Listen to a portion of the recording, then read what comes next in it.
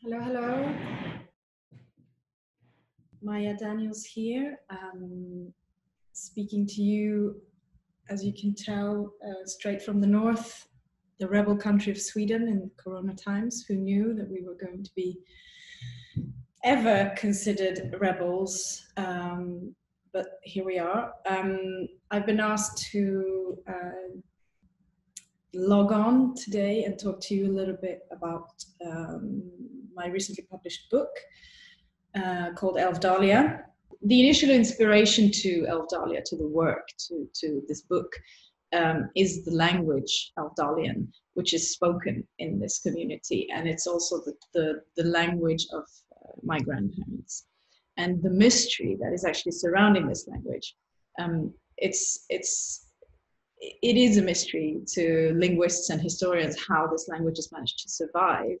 Um, it is the closest you get to Old Norse, and so essentially that means it's the closest you get to whatever the Vikings used to speak um, once upon a time. And people tend to assume that um, it's Icelandic that is the closest you get to Old Norse today, which is, and they also have managed to. Icelandic is very well preserved as well. Um, and it was preserved because it was an island far away from most things. Uh, where, whereas Älvdalen is a small community in the semi-north of central north of Sweden, and it's a community that has never been isolated. In fact, quite the opposite. They um, they were quite active tradesmen because they had poor soil and it was a poor community, so they had to go out and, and encounter the rest of the world, if you if you like. So the fact that they've managed to preserve this language is not quite um, normal. So there is a perplexing element to that. So um, that mystery is something that I um, have always been drawn to, and also the fact that my um, I don't understand the language, or I don't speak the language. I guess maybe I do understand it, but um, when I was a child, my grandparents would speak Älvdalian when I wasn't supposed to understand what they were saying. So there's always been that personal sort of mystery or or intrigue in terms of like the that what the language is doing and and when it was used. Um, so um, also I think um, starting off uh, thinking photographically or thinking uh, in images um, in relation to something that is quite abstract as a language is, I think, um, was a very sort of fruitful um, starting point for me. And then I ended up found, finding this archive from a man who lived in Älvdalen uh, 100 years ago. His name is Tenn Lars Persson. And um, his images are, um, I mean, incredible. I, to me, they are. Of course, they are. Um, um, they are very close to me. And, and, I think when I found them, it was a, a straight connection uh, for me to his work. Um, he he was a he was a uh, he was a sort of a, a, scientist, you could argue, and also like a local photographer. Um, he brought electricity to Älvdalen, but he was a big thinker, and I, I tend to think of him as a wizard. Um, and he was interested in natural magic. I mean, it was before it was at a time early um, early 1900s, whereby the the ideas of science and the idea of the occult magic hadn't they hadn't been separated yet so he had a much more inclusive way of thinking of mystery and of magic and of science um, which also inspires me a lot when thinking about the world today because essentially i am in this book using um, nature in many ways to speak about cultural phenomena. And in a way, I'm doing that as an, an, attempt also to try and bridge this gap between culture or, you know, man and nature, or, you know, the nature culture divide, however you like to think of that, um, is something that I, I don't necessarily believe is very fruitful. But it is such an important part of Western uh, thought. Um, so going back to Tenn Lars's work and his ideas uh, allowed me as well to, to, to, to imagine in, in a different way and to engage with uh, this language or the ideas that I had in my head and with his archive. So the book is constructed as a dialogue between myself and Tenn Lars.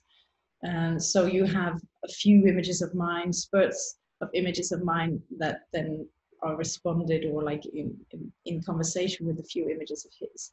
So I'm obviously appropriating his work um, for the story that I am um, intending to tell.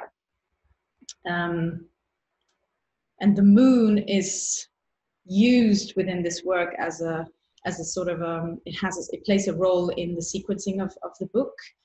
Um, it reoccurs and it's sort of also trying to enhance this idea of the cyclical uh, of the cycle that you know um, is living within the specific narration even though the narration is quite loose there is still something that drives um, that a narrative within the book um, and so i'm using the moon as a way also to, to, to go back both to the idea of of this idea of magic or, or, or, or the unknown but also to science uh, and to the idea of like this 24 hour cycle, the way that the moon influences everything on earth, everything that is alive, living. So, I mean, for me, most of the favorite images in the book are Tenn Lars's uh, images, the archive images, partly because it's easier for me to really like them because they're not made by me. All of the color images are made by me, uh, but it's also because I'm absolutely infatuated with with this man's work and that's why i'm having a hard time sort of letting go of, of, of this work i think the local heritage foundation that he was um, that he started that he helped started uh, starting up in in um, in the early 1900s they have about 5000 glass plates of his work. And the book Elf Dalia only contains about 30 images of his. So it's a very vast um, archive. And it has potential to become um, much, much more than just this one book. I think uh, there are some, uh, let's see if I can find one from this dummy.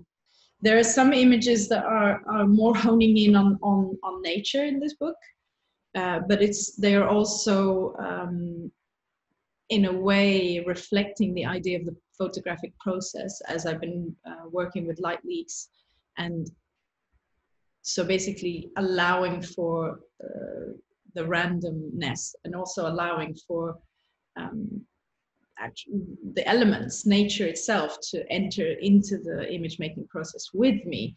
And so by allowing for these light leaks and allowing for time to affect the image in really slow exposures or even the wind um, in the way that they, it affects how um, the light is distributed in the image has been an important way for me to also uh, think of uh, the photographic doc document and the process and to sort of allow for the viewer to to to think again and to look again and to question what they're actually seeing so it's not just a, a, simple show and tell, it's more complex than that. And it's to think about what, what, and what are we seeing at this very moment and how, and how am I being potentially, well, manipulated or how am I being led to believe uh, in what I see.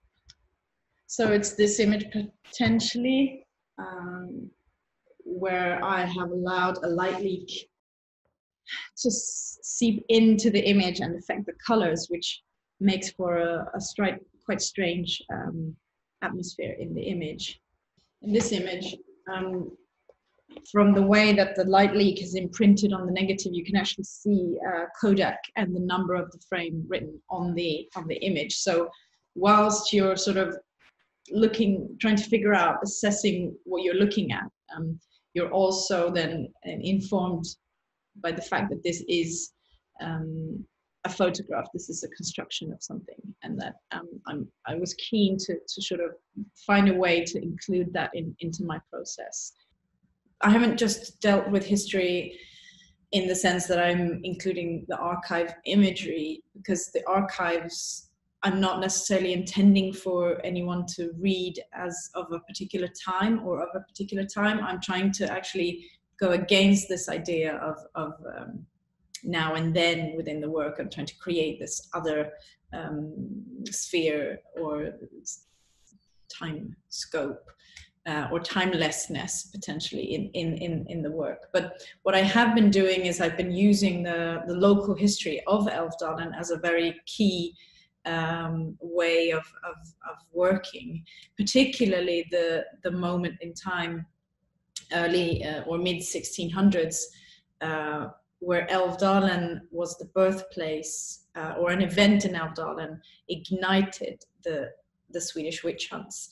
Um, so it was a young girl, 12 year old girl, who was accused of having walked on water. And that was sort of the, the, the, moment that, that kind of caused uh, a major uh, historical event in Sweden.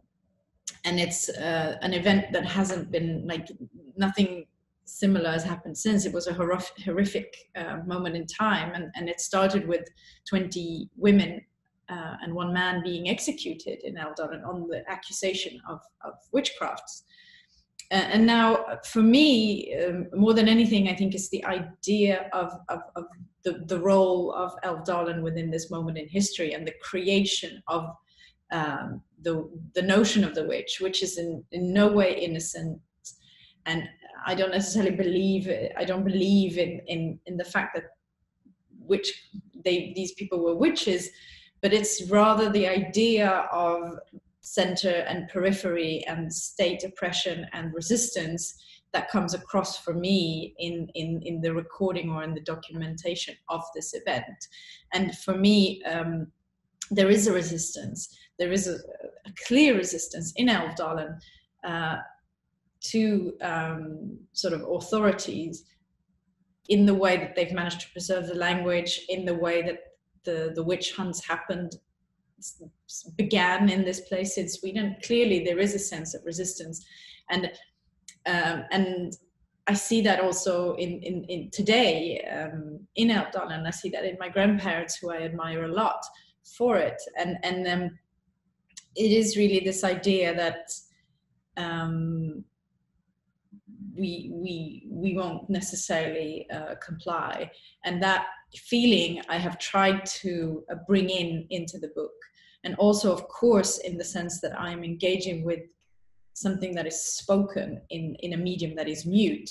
So there is a resistance, even if there is a compliance in a sense to, to speak about the language. The language is never heard.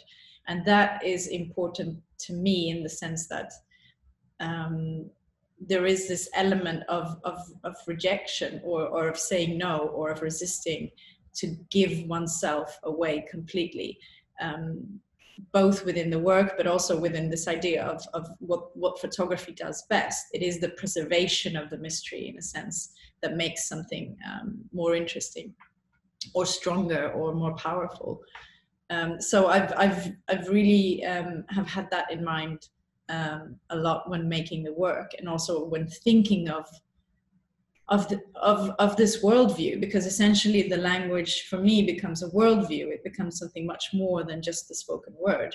So when engaging with with these thoughts the idea of resistance is is is, is key. And i think that you can feel that when you when you open the book when you start flicking through the work uh, and through the pages I hope that there is a sense of resistance. It's it's a book that kind of slowly gives its itself away. It's not going to give itself away in the first sort of few pages. It will gradually get there, and that um, that also comes from this uh, engagement with the local history and the whole historical events that are associated to this place.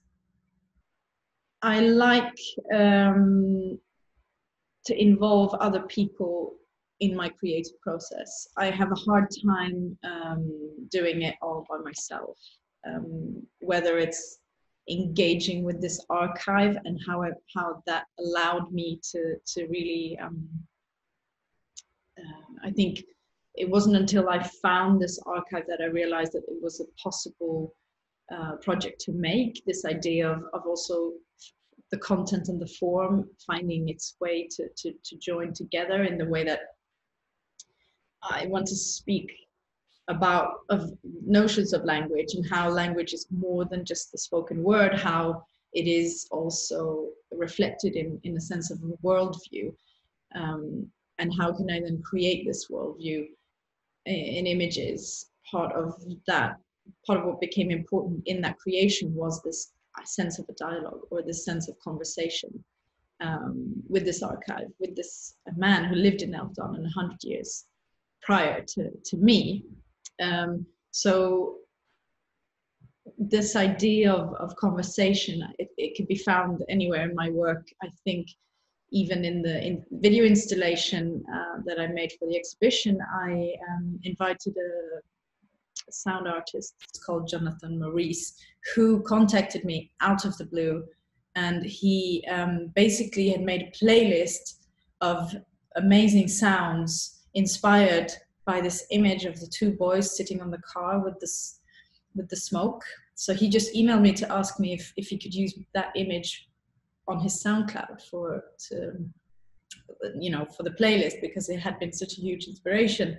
And I listened to the sounds and I I, I immediately um, proposed a, you know a collaboration. So it, in a way, it was just brought from from from the universe our collaboration, which is also a reason for me to really, which made me really want to do the, the installation piece. So we're going to show a part of that um,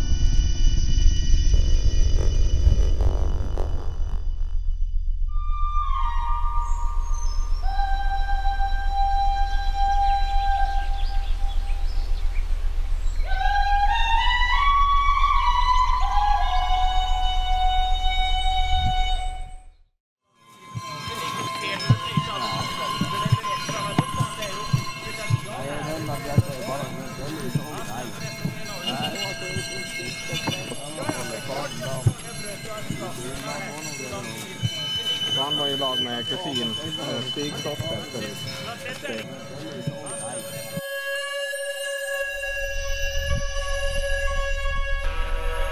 Vinter, vinter, dögen klädet uppe tå.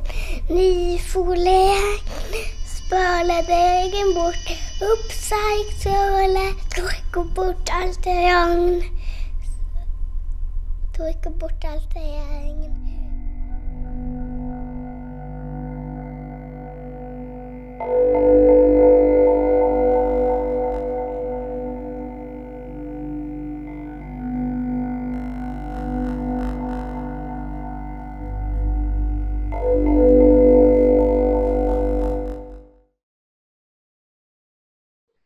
Um, that's enough, I think, for me. Um, from the north, um, I hope you're all uh, safe um, in this strange time. I am, um, yeah, I wish you all the best. Um, see you later.